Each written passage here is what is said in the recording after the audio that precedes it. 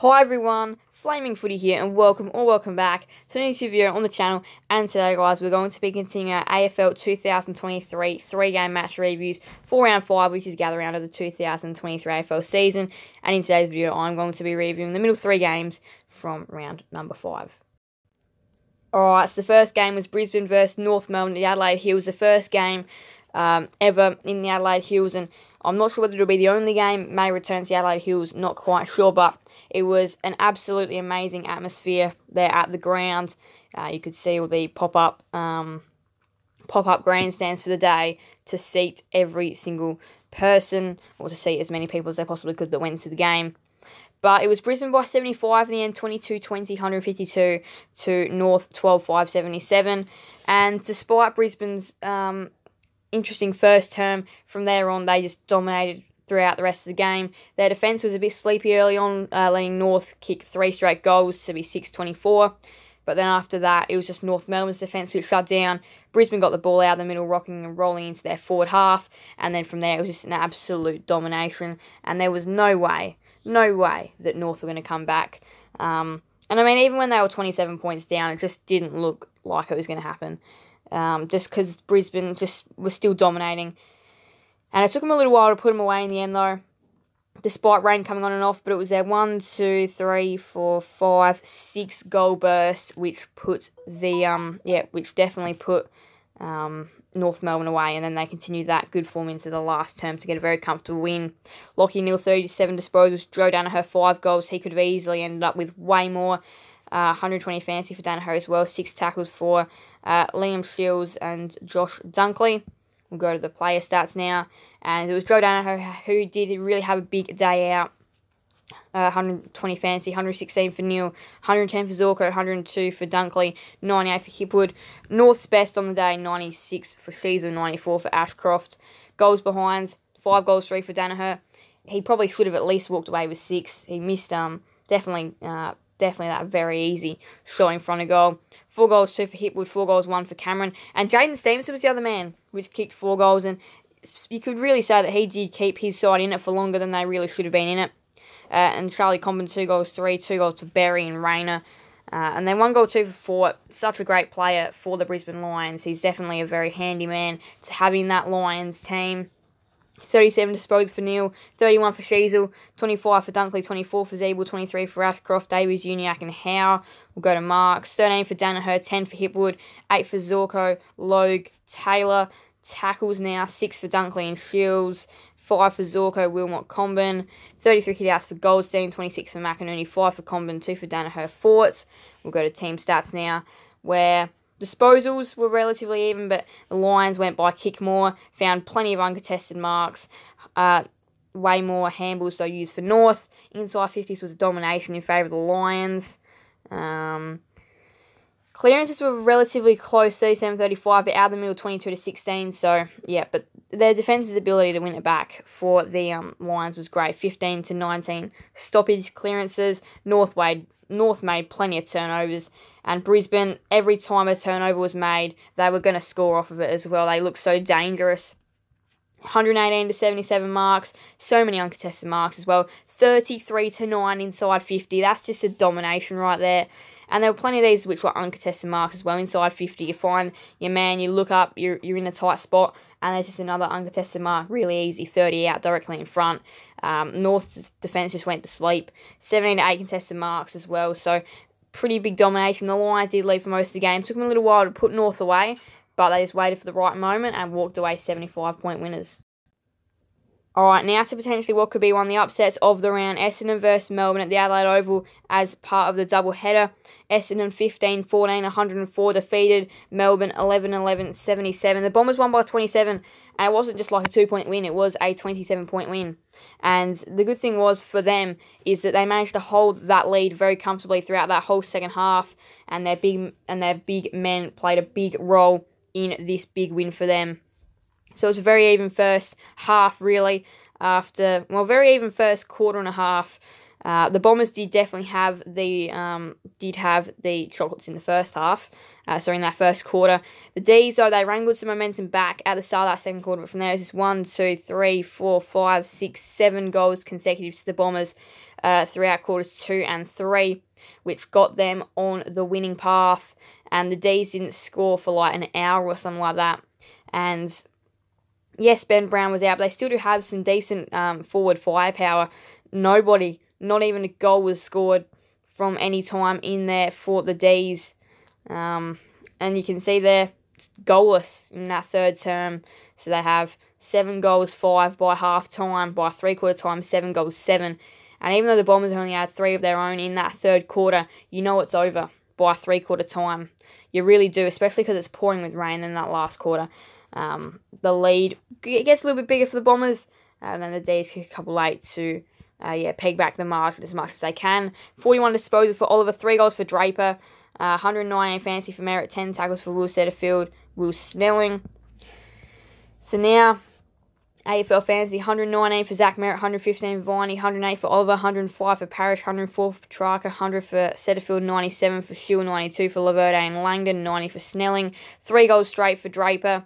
He was big. 2 goals for Pickett and Fritsch, two goals for Langford, who got the job done as well. Two goals for Melksham, Hind, Martin, Phillips was the other one with two goals. Stringer, a little bit um, inaccurate with one goal, three.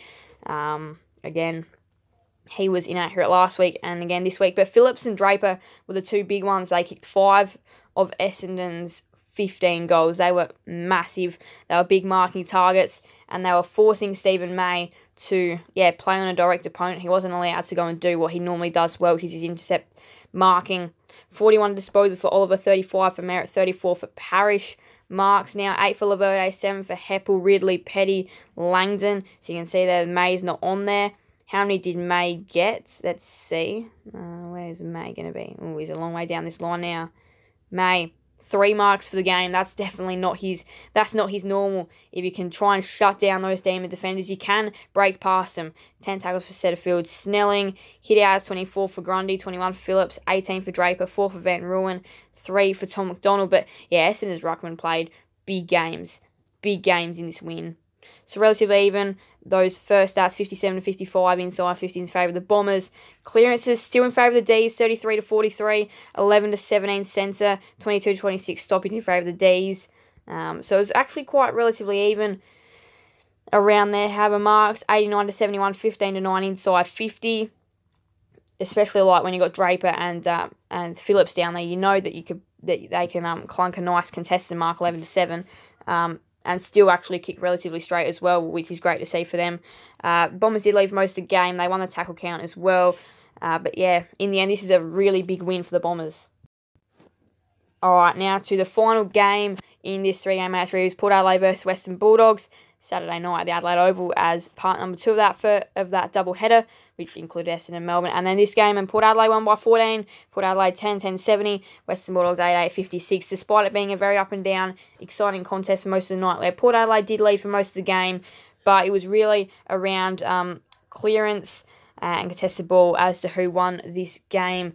And in the end, Port Adelaide, after having a way better last quarter, won in the end. Probably with one of the best quarters of the game, to be completely honest, most high scoring quarters of the contest. This game was raining, and it was raining throughout the Essendon Melbourne game, and that meant the deck was still going to be wet. However, it was still pouring throughout this game as well. So, very interesting stuff there. After Port Adelaide got off to the flying start, They'd already shut down the Bulldogs in that first term.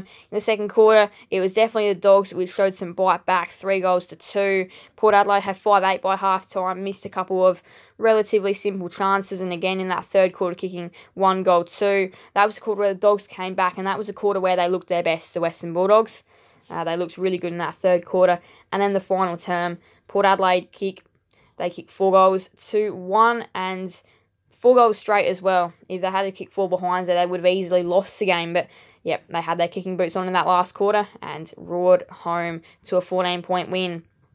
35 disposals for Adam Treloar, Four goals for Weightman, 123 fantasy for English, seven tackles for Bontempelli. So Dogs kick eight goals, Weightman kicks four of them. A little bit concerning because none of their other tool timber really got firing. 123 fantasy for English, 110 for Butters, who came alive in that last quarter, including that icing on the cake goal. 108 for Rozee, who's always who's always important for them.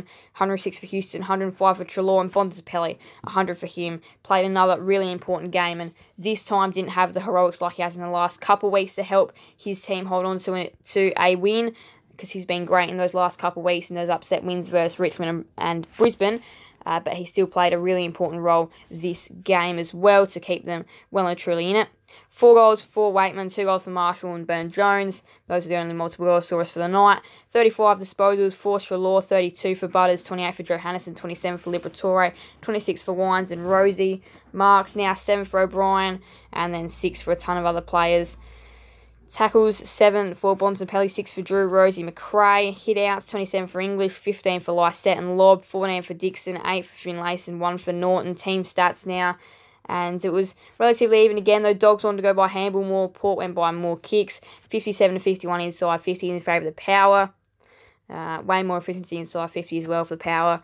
Um, clearances were pretty even. 37 43 hit outs, 39 40 clearances, 8 12 centre in favour of the Dogs, 31 to 28 stoppage in favour of the Power. Um, the Dogs did have way more uncontested possessions.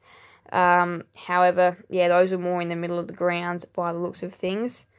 Uh, marks 70 70, marks inside 50, 8 8, contested marks 8 7 in favour of the Power. So, yeah, marks and marks inside 50 were locked, 7 each, 8 each. Uh, Port did lead for most of the game, and in the end, they definitely did deserve the win, I reckon. Despite the Dogs really did come hard, but it was really going to be down to who won that last quarter, was going to win the game, and in the end, Port Adelaide were just too good. Got a massive Sunday of footy coming up at, at the Adelaide Oval with a double header and one game at Norwood, Geelong on West Coast. Well, this is going to be a really interesting game for the Cats. They need to try and again try and bank back-to-back big wins to show their seasons back on track. West Coast they've been trying to do this new style of footy, and they need to see if it pays off or not. They need to take some risks in this game. They need to try and they need to try and change something up to look a little bit more dangerous. GWS versus Hawthorn. that's probably going to be a pretty boring game, I'd say. But the Hawks are need to get something together though. The Giants, I reckon they can they can get a nice win here. And then the Pies and the Saints, the game which probably everybody wants to see, uh, is the last game of the round and definitely on the Sunday the most interesting of the three. And if you want to have a little look at some of the gather round results so far, here they all are. And if you do want to go ahead and check out my other three game match reviews for the first three games, make sure to go ahead and do that as well. Here is the current ladder, and I don't think much will change for the top eight today, except for that Collingwood St Kilda game, which is going to be absolutely massive. Will the Pies jump up on the 16 points with Essendon and St Kilda, or will the Saints go undefeated and continue what a season has been so far and get a little bit of a gap from the rest of the competition. Uh, if they get to 20 points, they'll be uh, four points, a game clear of the next, which is Essendon. Alright, that's going to be it for today's three-game match reviews. I'll be doing three uh, the three-game match reviews for these games as well. But anyway, though, thank you guys all so much for watching. Make sure to leave a like and subscribe and hit that notification bell. Sitting guys, never miss another video on the channel. Thank you guys all so much. Subscribe, everyone. Flame Footy out.